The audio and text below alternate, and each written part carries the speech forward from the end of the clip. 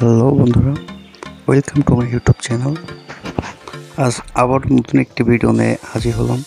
আজকে টিউটোরিয়াল আমরা দেখাবো Tecno Spark Go KC one H এই মডেলটির হ্যান্ডিসের টিউটোরিয়াল তো এই ফোনগুলো প্যাটার্ন লক অথবা পিন লক বলে গেলে অনেকে অনেক প্রবলেমে পড়ে, যার কারণে এই হ্যান্ডিসেটটি আজকে দেওয়া। তো এই ফোনগুলো নর্মালি আপনারা যেভাবে হ্যান্ডিসেট করবেন স্টেপ বাই স্টেপ আমি দেখানোর চেষ্টা করব। তো ফার্স্ট টাইম পাওয়ার অফ করে নিই। পাওয়ার অফ করার পর আপনারা সিম মেমোরি এগুলো কাট করতে পারেন অথবা ফোনে কানেক্ট করা অবস্থায়ও রিসেট মারতে পারেন। তো just volume down and power key একসাথে এই দুটো প্রেস করে রাখব জাস্ট ফাইভ সেকেন্ড তারপর টেকনো লগো আসলে আমরা রিলিজ করে দেবো সব কি হ্যাঁ এখান থেকে আমরা জাস্ট এখন পাওয়ারটা ছেড়ে দিলাম। আমরা ভলিউমটা এখনও প্রেস করে রাখব যতক্ষণ না নো কমেন্ট মোড আসবে। এখনই আসবে, এই যে নো কমেন্ট মোড এখন সব কটা বাটন ছাড়বো। দেন এখানে আমাদের একটু কাজ আছে, আমরা ভলিউম ডাউন অন পাওয়ার একসাথে দুবার প্রেস করব। তারপরে এরকম একটি স্ক্যান পাবো। এখান থেকে জাস্ট উইপিটাটা সিলেক্ট করে এস চেপে আমরা ওকে করব।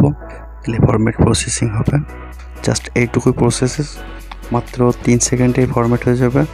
বেশি সময় নেবে না, জাস্ট নেক্সট টাইম আপনার অ্যাপসগুলো সেট আপ নিতে জাস্ট যেটুকু সময় নেবে। তো আমাদের ফরম্যাট কিন্তু কমপ্লিট হয়ে গেছে সব কিছু তারপরে বুঝতে অসুবিধা হলে অবশ্যই কমেন্ট করে জানাবেন। আশা করি এর থেকেও ক্লিয়ার করে বোঝানোর চেষ্টা করব। জাস্ট এখন কিছু আমরা ওয়েট করব।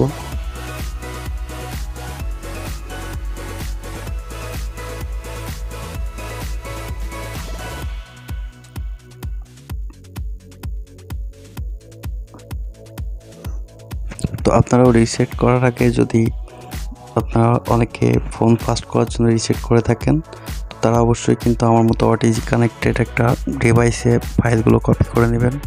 আমি আপনাদের দেখানোর সাথে আর কি ফোনটি লক করলাম রিসেট করলাম হ্যান্ড রিসেট তো আমি সবগুলো ফাইল কিন্তু আগে থেকে ওটিজিতে কানেক্ট করে রাখছি।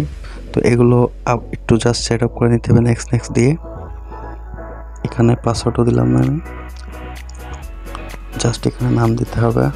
না দিলে কোনো ব্যাপার না নেক্সট নেক্সট করে জাস্ট সেট আপ দেবেন। লোকেশনটা আপনি কোন দেশে এটা দেখানোর পরে দেখেন কমপ্লিট তো এইভাবে মূলত টেকনো স্পার্ক কেসিয়ন এই সেগুলো হ্যান্ডিসেট করতে হয়। তো আশা করি এর থেকে সহজভাবে বোঝানো যাবে কি না তো এরপরে বুঝতে অসুবিধা হলে কমেন্ট করে জানাবেন। তো আজকের ভিডিও এই পর্যন্তই। ভালো থাকবেন সবাই। আল্লাহ হাফেজ।